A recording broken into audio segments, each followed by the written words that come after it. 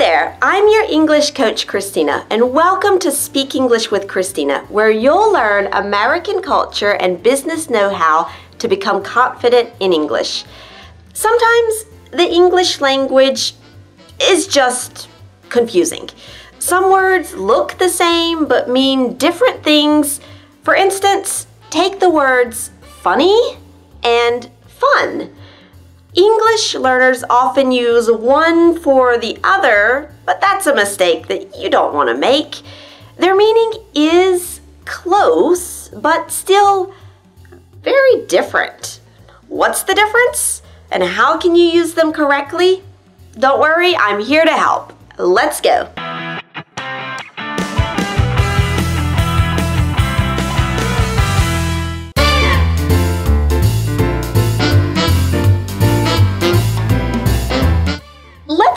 Some contrasting examples so you can see the difference.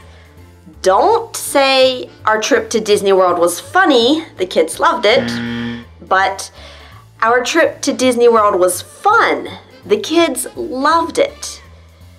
Don't say, I had a funny time at the football game. No.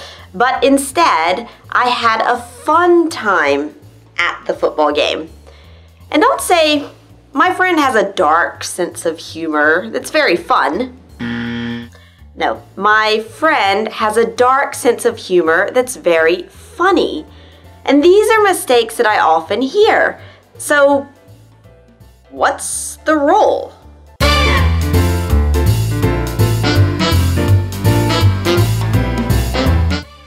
Funny means something that makes you laugh. Ha ha ha ha ha. Like a joke, a comedian, or a TV show. For example, have you ever seen Saturday Night Live? It's such a funny show. Or your jokes are very funny. Or hey, you're a funny guy. Ha ha ha ha.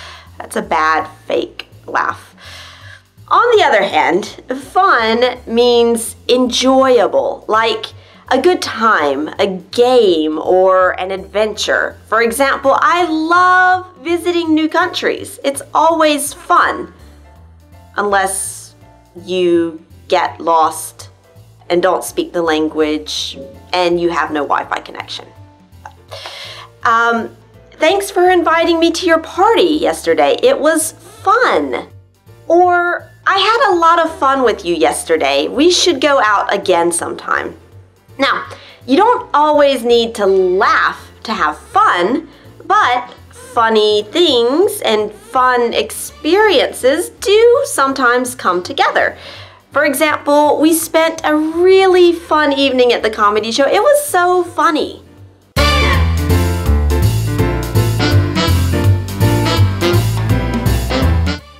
A fun experience is an enjoyable experience, and a fun person is someone you enjoy spending time with and with whom you can often do fun activities. But fun isn't always an adjective. It can be a noun as well, especially in the expression to have fun. And it means to have a pleasurable time. For instance, Julia is a fun girl. She's really fun to be around and she always has crazy ideas for things to do. Or, good luck for your football game, but more importantly, have fun. And finally, we also use funny as a synonym for strange, surprising, or unexpected. For instance, yeah, I know Paul. It's funny you ask. I just met him. So it's a surprising coincidence. Or, mmm, my milk has a funny taste, so I threw it away. So it's a strange, unexpected taste. Or, I hope your brother's alright. He was acting a little funny when I saw him yesterday. So acting funny is to have strange behavior. Hmm. So, to recap, fun means enjoyable, pleasurable, while funny, ha ha ha, means it makes you laugh or it's a bit unexpected. And now, tell me, can you write two sentences that use fun and funny? And you can find inspiration in your own life. Write your answer down in the comments and we'll see if you can use these words correctly. And there are many more mistakes that I want to help you with.